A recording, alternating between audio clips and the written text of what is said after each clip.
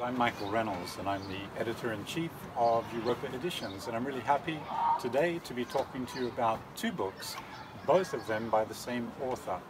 You may remember Muriel Barbery from her best-selling novel The Elegance of the Hedgehog. Well, Muriel Barbery is back this fall with a new novel called A Single Rose, the story of a middle-aged woman who reconciles with her father after his death uh, during a journey to Japan for the reading of her father's will.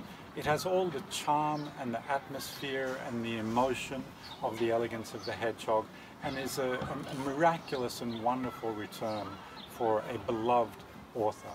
The second book that I want to mention, also by Muriel Barbery, is called The Writer's Cats. It's a book for kids, a book for adults, a book for readers of all ages. It's fully illustrated with some wonderful illustrations by Maria Guitart, and it tells the story of four cats and their owner, a writer. It's a story about cats, about beauty, about the writing life.